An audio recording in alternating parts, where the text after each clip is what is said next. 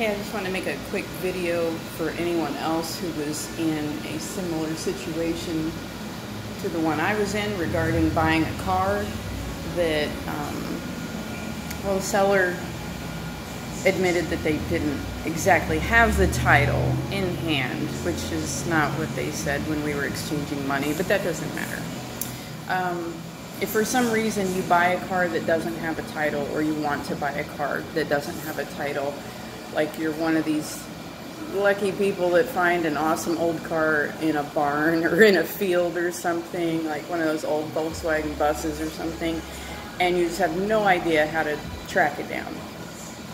If it's 15 years or older, then you can go through the Vermont registration process. And then after you do that, you can go to your own state and transfer your registration to the state you live in. You don't have to live in Vermont to do this.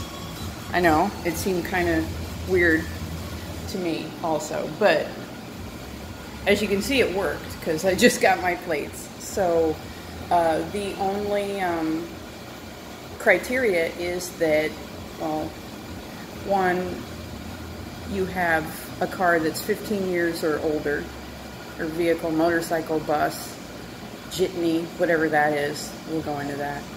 Um, and that you have a bill of sale.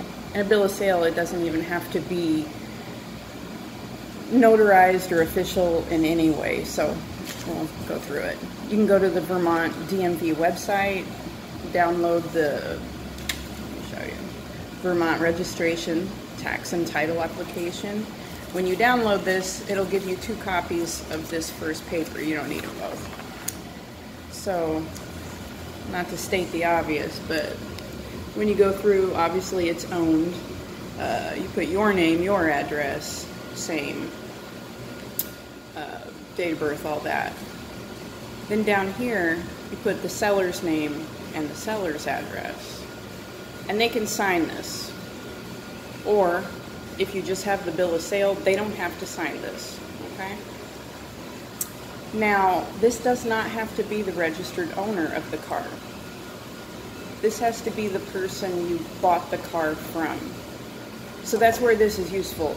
If you are buying a car that someone else bought and they didn't get it transferred into their name, and for whatever reason, they're not talking to whoever it was that they bought the car from originally. Uh, so you go down here, new registration, it's a car.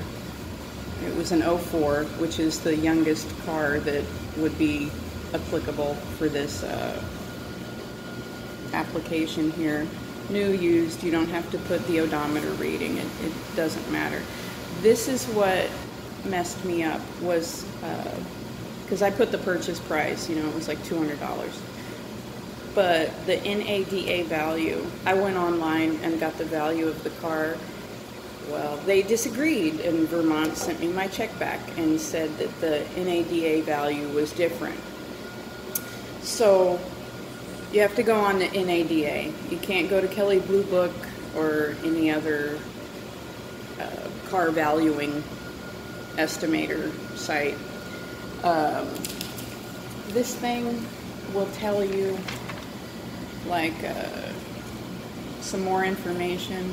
Like I said, only cars that are 15 years old or newer will get a registration. 15 years or older, sorry, 15 years or older will get a registration, not a title. They don't call it a title. I don't know why. And, ah, here's the price list. If, uh, you know, I don't know what you're buying. You might buy like an ATV, a motorcycle, whatever, but for autos it's $76. And I think, uh, oh yeah, and the warranty fee is $6. So that's all that you put right here in this thing. The $76 for the registration fee, the $6 for the warranty, and 6% of the NADA value. Not anybody else's value. okay. And then you'll send your check, and if everything is correct, they will send you your plates. And then about a week later, you'll get one of these funny envelopes that you have to tear the edges off. And that'll be your sticker that actually goes onto the plate itself. And then you're good. And then at that point, I mean, you can keep these plates, but if you're living in another state, I think all states have the law that you have to, um, you know, register it in your state within like 30 days. So that's it. It was kind of a long process. It took me about a month to do, uh, but it was a little longer because of the initial rejection over the, uh, you know, the NADA value. They disagreed. So I hope this helps somebody else that bought a car and then can't get a hold of a title, uh, or you found this car in a barn or whatever. Um, there's other ways to do this, like through a title bonding company, but that costs a lot more money. And if you're already buying a really old car, maybe you don't want to spend five, six, seven hundred dollars on a title bond, you know, for your state. So, anyway, I hope this helps somebody.